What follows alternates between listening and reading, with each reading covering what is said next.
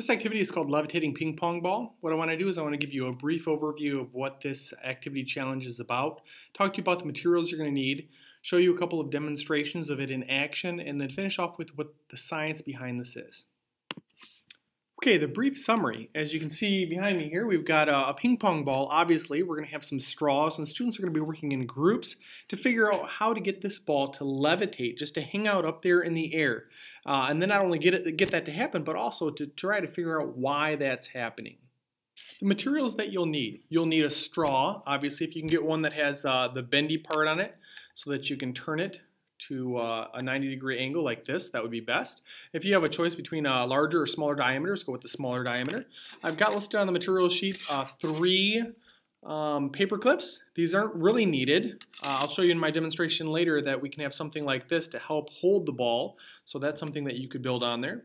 You're going to need a hair dryer for a demonstration at the end, and you could also use a shop vac as well. Those are, are pretty neat. If you have really young students where maybe this could be a little bit of a challenge for them in terms of blowing, you could go to like a dollar store and they have little uh, party favors, things that look like this right here and it works on a similar similar principle in terms of you, you blow into it and the ball levitates up in the air and they've kind of got little baskets here.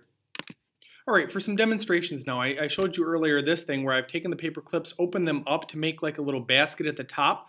We could then take this straw, turn it at a 90 degree angle, and students could take their ping pong ball, they could set it inside of our kind of little homemade basket here. And then if students blow into this, you'll watch, you'll see this thing levitate.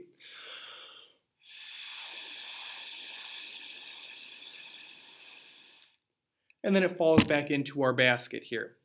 Really, the paper clips just help, especially with students, getting it to start to levitate and then have, uh, pop back down there.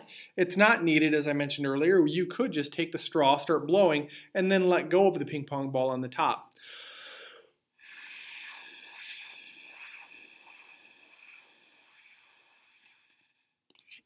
So we've got that. These little guys I showed you earlier, these ones are a little bit easier. To blow into for uh, maybe the really young students. At the very end, we've got something like a hair dryer. If you want to take this at the, at the very end, this works as a, a great demonstration.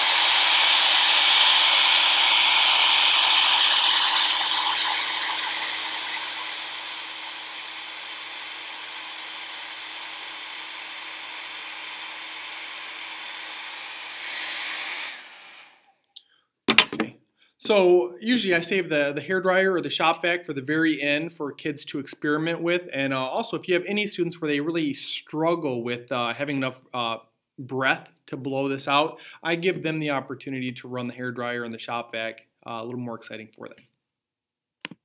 Now for the science behind this. This really deals with Bernoulli's principle. And Bernoulli's principle, it's kind of complicated if you listen to it. It says something like uh, the, the velocity of a fluid and the pressure in that fluid are inversely uh, related to each other.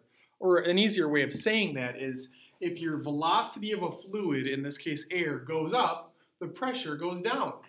And the opposite's true. If the velocity of the fluid goes down, then the pressure goes up. And that's seen right here the ping pong ball, as it's levitating up in the air, we would think that it would just want to fall off to the side, but something draws it back to the middle. And that something is when your, your ping pong ball is being pushed up here, and then it starts to move to the side, we have air that's not moving. Okay, so that would be a low velocity, so low speed of the air, that's higher pressure. So there's a higher pressure pushing the ball back over here, whereas the air in the stream that's flowing, it's moving pretty fast here. So this would be a higher velocity, which results in less pressure. So less pressure here, more pressure here, and it comes back over into the stream of air. That's as we're blowing this, that's why we start to notice it, you know, kind of jumping around a little bit, is it's running into air that's not moving quickly, and therefore that has a higher pressure, pushes it back in. One final note here. My students absolutely love this activity, but one thing that I have to warn them with is that when they go into another classroom or they go to lunch, to make sure that they put this away. I let them keep it so they can show things at home, but it's it can be a distraction to other learning that maybe should be occurring. So uh, something you might want to tell your students. Have fun.